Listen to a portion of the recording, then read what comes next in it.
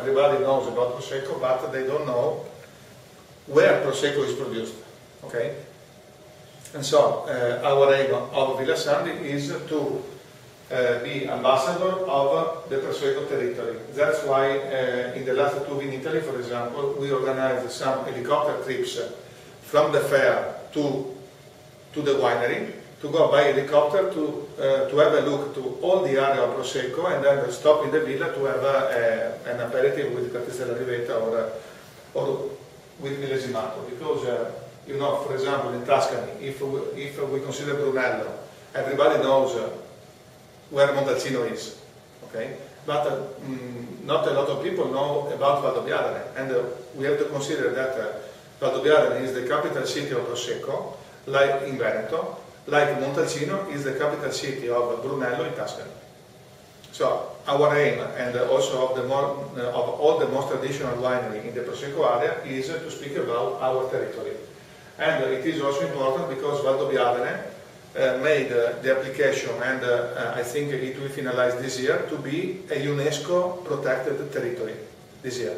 Okay, so uh, we are uh, in also the area of Prosecco is in this year of Valdobbiadene Conegliano will be UNESCO area. You know that we have also the Dolomites now that are also UNESCO protected area. And uh, it is very important, so uh, if uh, UNESCO have two areas very important like this, to recognize like a, a, a patrimony of the world, it means that we are in a, in a, very unique place. So what we have to do is to speak about this uh, Uh, this particular te uh, territory. We, we, were in Cartizze and uh, it is very easy to understand that uh, this, that land of Cartizze is unique. You, you travel a lot and you, you see many vineyards everywhere. And I think that the conformation of Cartizze is very unique for many reasons. Some we, we already speak about and others we will speak during, during this small presentation. Okay, speaking about the, the territory of Prosecco, we are in northeast of Italy. Okay, this is Italy. The production of Prosecco covers uh, two regions. One is Veneto, and the other one is Friuli. Okay, there was a, a big change in the law of Prosecco in 2009, in which there, there was the, um, um, the, the start of the new consortium Prosecco DOC. So. Uh, what I can tell you is uh, how was the situation before 2009 and how is now after 2009.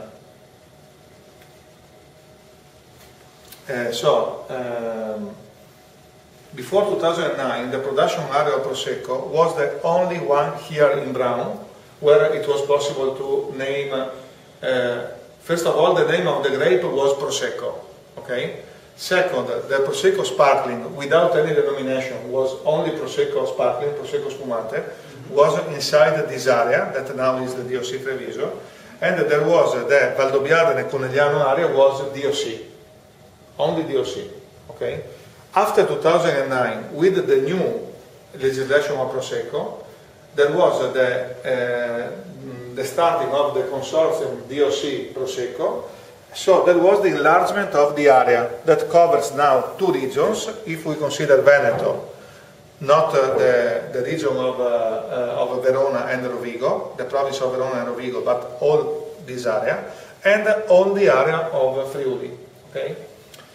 The motivation of the enlargement of this area were two, mainly. First of all, because uh, there was a big increase of ask for Prosecco in, in the market. So uh, the project was uh, to enlarge uh, the knowledge of this wine, but in order to do that, we need also to be sure to have the quantity of grapes that the market can ask in the future.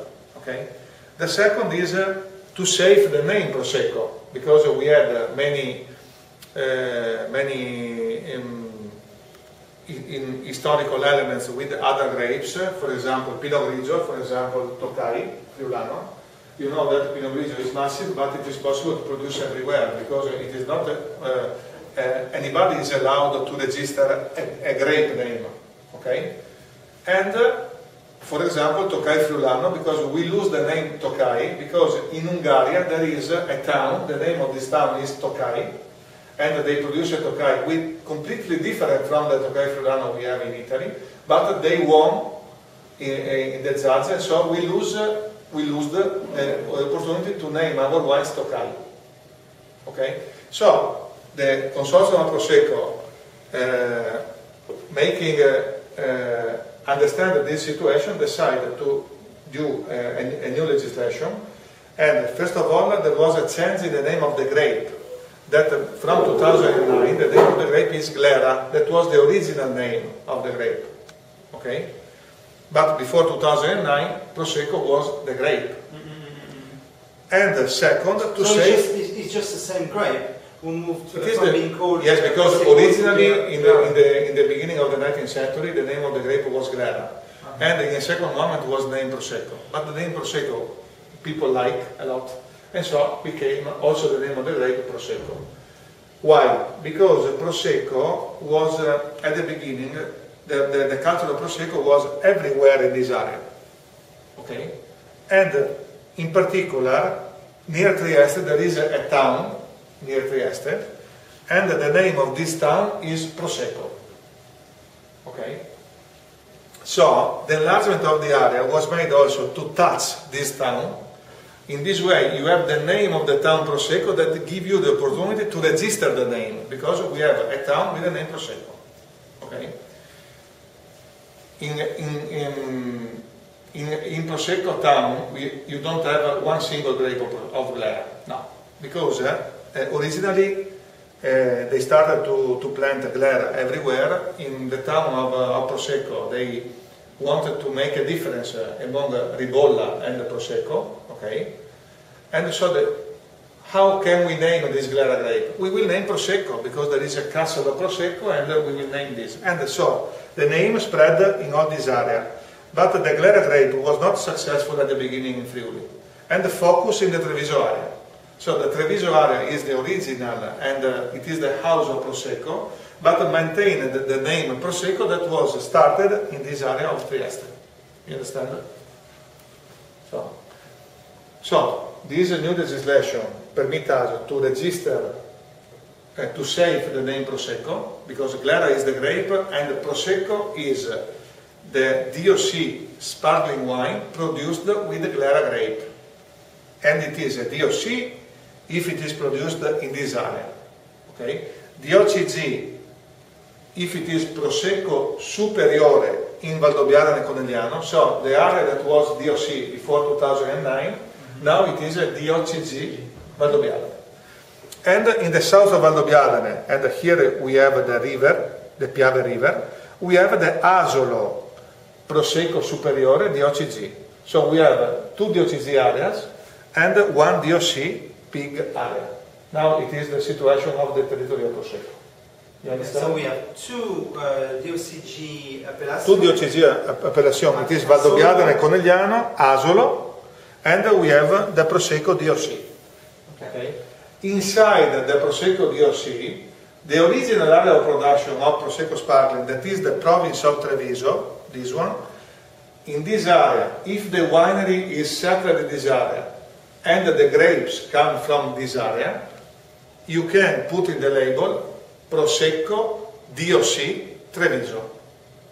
So it is very important, uh, the label of Prosecco, because in this way, you can, if you have the name Treviso, you can be sure that the grapes and the winery are part of this area. That's why, for example, Villa Sandi, Crocetta del Montello, see, it is inside the DOC area, and then all our grapes comes from this area. That's why our Il Fresco Prosecco DOC, we will taste later, it is Prosecco DOC Treviso. So if they don't write Treviso, it means that they can't. It is not a choice. That's why in the label of Prosecco it's very important to have all the information you can need about the wine. And, uh, and uh, inside the area of, uh, of Treviso, you have the two DOC area. The difference, DOCG area, the difference between DOC and DOCG, which are the difference? The area, because uh, it is restricted. In the DOCG area, the production is lower, because uh, in the DOC area, Treviso included, the, the, the production yield is 18.5 18.5 ton per hectare of grapes. in the DOCG area, both Val- Valdobbiadene and Conegliano, the production yield is 13 ton per hectare. Okay? And uh, in Cartizze, that is uh, this hill we were before, only 106 hectares in total, the production yield is 100, uh, 20, uh, 12 ton per hectare. Okay?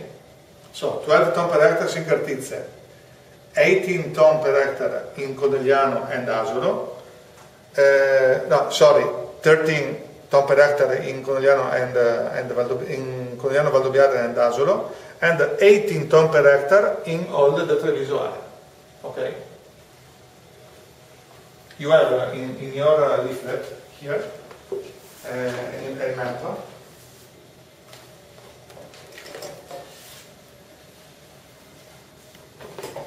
This one. This one. And in the other side you have the pyramid of Prosecco, Ah, yeah. okay, in which uh, you can see how it, it works, uh, okay? So the, the number of hectares and uh, you have the, the number of hectares of, of the DOC. For example, you see that the Prosecco DOC have 555 towns. Prosecco DOC Treviso, only 95 towns. And the production of Villa Sandi start from the second step of the pyramid. Okay? Then we have uh, the Valdobbiadene, that is uh, 15 towns, in which uh, we have a Villa Sandi, uh, Valdobbiadene wine estate. Asolo, 17 towns, and Cartizze, that is the top of the pyramid. This, uh, and uh, if we see the hectares, we start from Cartizze, we are around uh, 100 hectares in total. In uh, Asolo, we have uh, 1,300 hectares. In Valdobbiadene, 7,200 uh, and 300, m- m- more or less. All the Treviso area covers uh, 23,000 hectares. In total, the area of Prosecco is around 26,000 uh, uh, tw- 26,000 hectares. Okay? So, it is, uh, and also we have to say that the Prosecco is uh, the most important, uh, the, the widest uh, DOC uh, area of the world. Uh, you can't find anywhere a DOC with this big extension in terms of hectares. Okay? And now we test the, the first one. Okay?